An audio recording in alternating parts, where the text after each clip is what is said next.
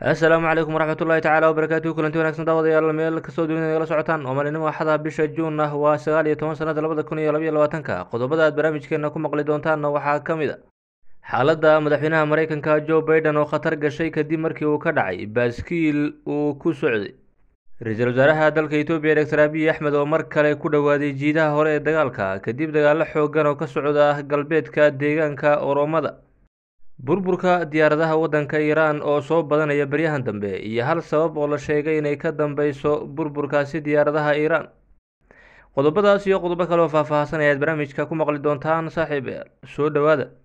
Aan ku bilownay madaxweynaha waddanka mareykanka joe baiden ayaa xaalad cabsiha ay soo wajahday kadib markii uu ka dhacay baaskiil uu kaxaynayay xilli uu isku dayey inuu istaago oo uu salaamo taageerayaashiisa. Madaxweynaha ayaa ku sugnaa gobolka delware ee ku yaalla waddankaasi mareykanka madaxweyne joe baiden oo inta badan baaskiilkaasi kaxeeya islamarkaana wakhtiyada uu fasaxa hayo meelaha qaar ku wada ayaa guud ahaanba waxay u muuqataa in xilligan ay da-diisu sii weynaanayso islamarkaana ay ku adkaanayso guud ahaanba in uu iskontrolo marka uu wado baaskiilka taasi oo u keeni kareysa dhib aad u weyn. Sida ay sheegayaan khubaradu xilligan wax dhaawac ah oo saa u weyn ma soo gaadhin balse waxaa soo food saartay xaalad deg deg ah kadibna waxaa la geeyey mid ka mid ah isbitaalada dalka iyadoo guud ahaanba xaaladiisa la ogaanayay lama oga waxa ilaa iyo hadda gudaha ka soo gaadhay balse waxaa la sheegayaa in uuna dhaawac saa u weyni aanu qabin balse waxay u muuqataa ama la filayaa in khubarada qaar ay ka mamnuuci doonaan inuu baaskiilka kaxeeyo iyadoo inta badan madaxweynaha mareykanka la sheego inuu aada ugu dhegan yahay islamarkaana uu aada u jecel yahay inuu kaxeeyo baaskiilka oo meelaha qaar uu ku wado. Taasi oo uu sheegay inay energy fara badan iyo weliba jirhkiisa ay sameyneyso ama ay siineyso energy badan oo uu muddo dheer ku shaqeeyo guud ahaan baaskiilku waxa uu leeyahay caafimaad fara badan iyo weliba in ay murqaha jidhkaagu kala baxaan. Balse mararka qaar ayaad khatar ku geli karaysaa iyadoo dadka qaarna ayba ku dhintaan. Baaskiilkaasi marka la eego qaabka uu u samaysan yahay oo markii aada la dhacdo laga yaabo in sterinka ama meesha aad wax ka wado ay guud ahaanba hoosta ku gasho. Taasi oo dhibaato iyo dhaawac ku soo gaarhsiin karaysa. Madaxweynaha mareykanka joe baiden oo la hadlay wariyaasha ayaa waxa uu sheegay in xaaladiisu ay wanaagsan tahay islamarkaana baaskiilkiisu uu la turaanturooday. Waxa uu sheegay in baaskiilku uu u baahan yahay dayactir islamarkaana ay ku timid cillad farsamo.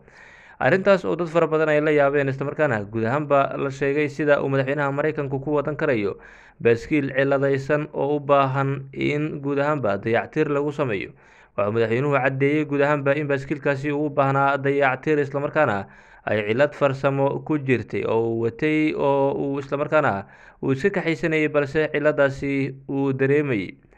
haatan aan eegna wararka naga soo gaarhaya dalka etoobiya ra'isul wasaaraha dalkaasi etoobiya doctor abiy axmed ayaa booqasho ku tegay gobolka zodo zon oo ku yaalla deegaanka zidama waxaa halkaasi ka dhow dagaalo xoog badan oo ay kooxda ola iyo kooxda g l f ee ka dagaalanta gambela ay ka wadaan guud ahaan kooxahaas ayaa xilligan sheegaya inay ku dhow yihiin caasimada deegaanka gambela. Markii labaad oo ay doonayaan in ay la wareegaan halkaasi. Balse ra'iisaaraha dalka etoobiya ayaa guud ahaanba waxa uu booqashadaasi ku tegey. Deegaankaasi ama gobolkaasi zodo zone oo aan ka dheereyn halka ay dagaaladu ka socdaan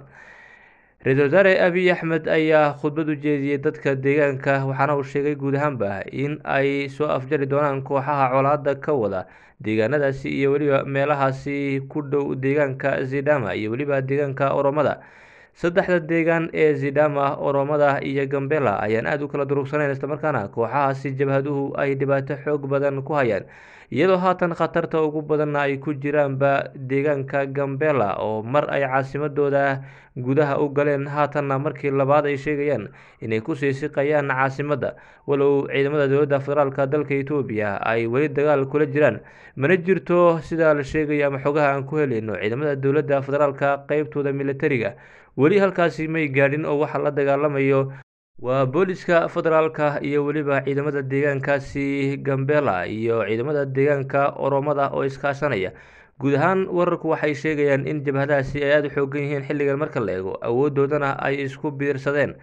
ra'iisul wasaare abiy axmed ayaa sida wararku ay sheegayaan waxa uu doonayaa inuu dardar geliyo ciidamada aagaasi ku sugan si loo soo afjaro guud ahaanba. Colaada ka taagan galbeedka ama guud ahaanba deegaankaasi oromada iyo gambela. Ra'iisul wasaare abiy axmed oo caqabado fara badan wajahayay taniyo markii uu xukunka dalkaasi etoobiya uu qabtay ayaa dhowr jeer ku soo noqnoqday deegaanka zidama iyo weliba deegaanka deriska la ah ee oromada oo guud ahaanba halkaasi ay degaan oromada waxaana uu sheegay in oromada looga baahan yahay inay dowladda taageero weyn u muujiyaan islamarkaana dowladda xilligan dhisan ay tahay dowlad oromo ah. Waa sida uu hadalka u dhigay loona baahan yahay inay taageeradooda siiyaan.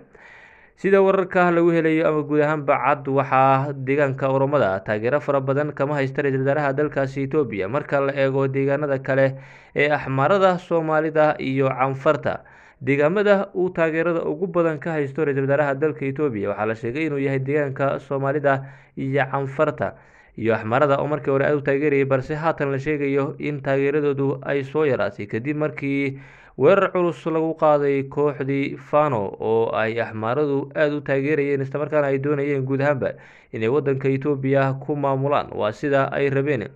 waxaa kooxdaasi fano ay sheegeen in ay hub nooc walba isaga dhex wateen dowladda etoobiya islamarkaana ay meeshay doonaan la mareeyeen arrintaasi oo dowladda etoobiya ay khatar u aragtay. Islamarkaana ay ka hortagtay wax ka badan toban kun oo dhallinyaradaasi ka tirsanaa fano ayaa xilligan ku jira xabsiyada dalkaasi etoobiya waxaana dowladda etoobiya ay sheegtay inaan marnabo la ogolaan doonin cid walba oo amar diida samaysana xabsiga la dhigi doono. Cid hub ku dhex wadata dalkaasina aan laga yeeli doonin haatan aan eegno iiraan mid ka mid a diyaaradaha dagaalka ee militariga iiraan oo nooceedu yahay f fourteen ama f afar iyo toban tomcat ayaa ku burburtay saldhigga ciidamada cirka ee dalkaasi iiraan ee sfan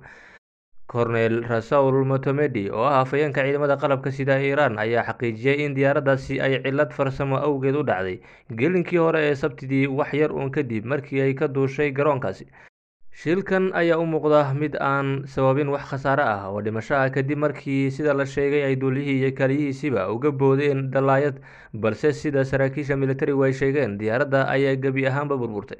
ka hor inta uusan shilku dhicin duuliyihii iyo caawiyihiisiba oo ay ka boodeen haddana waxaa lagu daweynayaa ama lagu dabiibayaa isbitaalka al zahra. Ayuu yidhi sarkaalka ka tirsan militariga kacaanka iiraan oo ay soo xigatay wakaaladda wararka ee isna. Sida lagu xusay warbixinta taliska militariga ayaa sheegay in la baarayo sababta keentay in ay diyaaraddaasi burburto laakiin waxay u badan tahay in cilad farsamo ay ku timid. Motoorka awgiis islamarkaana ay sidaasi ku dhacday tani waa diyaaraddii saddexaad ee militariga iiraan ka burburta. Taniyo bishii maaj ee sannaddii labadii kun iyo afar iyo tobankii.